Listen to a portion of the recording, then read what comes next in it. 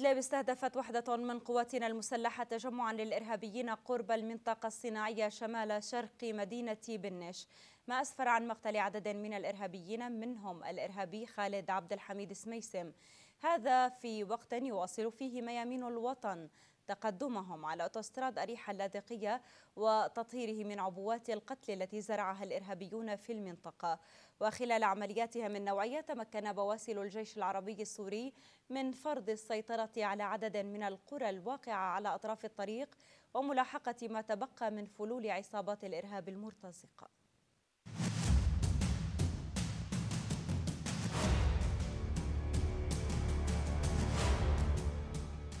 بخطوات قوية وواثقة وهمة عالية. يتابع الجيش العربي السوري تطهير الأراضي السورية من مرتزقة جبهة النصرة الإرهابية.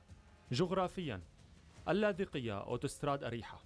هنا يقوم أبطال الجيش بملاحقة المسلحين الإرهابيين في المزارع وعلى أطراف الطريق ويدخل الجيش إلى قرية رأس المقطع ليتابع ملاحقة فلول المسلحين الذين لم يتركوا بلدة آمنة إلا وهجروا أهلها وسرقوها بعد أن عاثوا فيها فسادا.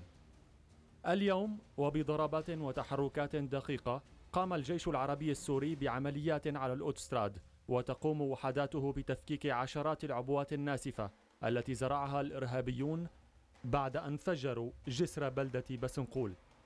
كما تابع الجيش سيطرته على مناطق شاسعة في المنطقة حيث بسط سيطرته على عدد من القرى على أطراف الطريق وسيطر بالكامل على بلدة بسنقول وكفر شلايا القديمة ورأس المقطع وأرم الجوز ويتم حاليا تأهيل الطريق وإعادة ترميمه ومتابعة فلول الإرهابيين. بيد من حديد يضرب الجيش العربي السوري بإيمان بعقيدة بكلمة حق يضرب. كل من تسول له نفسه التلاعب بأمن البلد وإرهاب مواطنيه لتكون كلمة أبطال الحق هي العليا في ساح القتال